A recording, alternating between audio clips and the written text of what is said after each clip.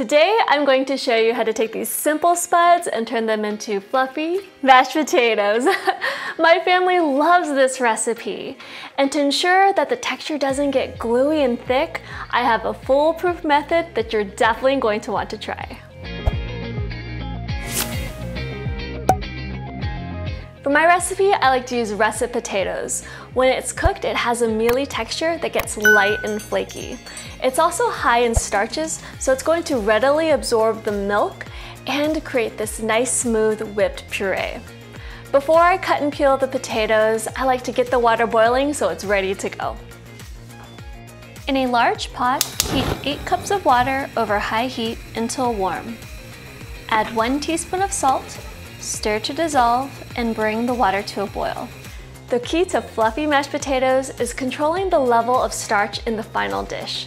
The reason why we want to do this is because the starches start to swell, get thick and sticky in the presence of hot liquids, so it's really important to regulate the amount. The first thing I'm going to do is peel the potatoes. I like to peel the potatoes because it cooks a lot quicker and it's a lot easier to mash later. Now I'm going to cut the two pounds of potatoes into one inch diced pieces.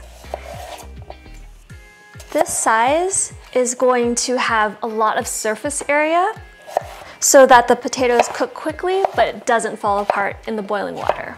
I like to work pretty quickly when I cut the potatoes because the minute that the cell walls are exposed and cut, it's gonna start to brown and oxidize.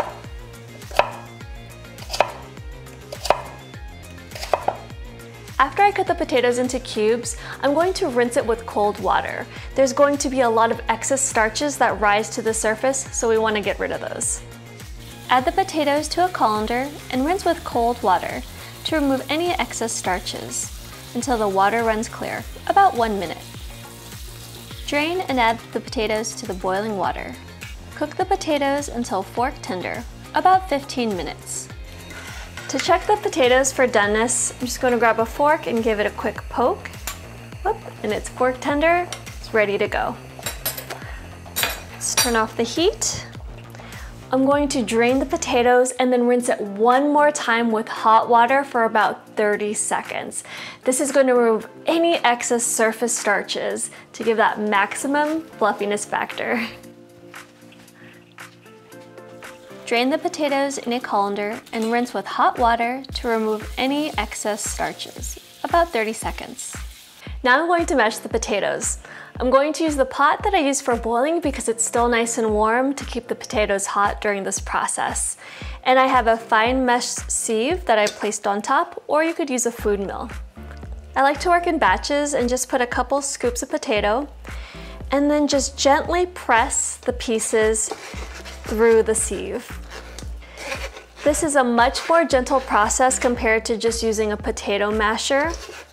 Pressing the potatoes through the sieve is also going to separate those potato particles so that it's a lot more light and flaky instead of dense and heavy. Check out those beautiful flakes of spuds and make sure you scrape it off the bottom.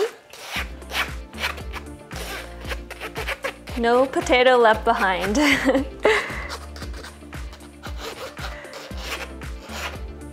now that we have this nice light potato puree, we're gonna add the butter. Now this step is really critical because we're going to add two tablespoons of softened butter to the two pounds of mashed potatoes. We want to add the butter first because the fat is going to coat the starches in the potato and prevent it from getting really gluey and thick. So just gently fold in the butter and since it's softened, it's really easy to do that. When we add the butter first and allow the fat to coat the starches, it's gonna inhibit the moisture from the milk from interacting with those starches. This looks good. Now we're going to add the milk. Before I add the milk, I'm going to warm it up first because we don't want to add cold liquid to the nice and hot potatoes. Microwave a half a cup of milk for about 30 to 45 seconds until warmed.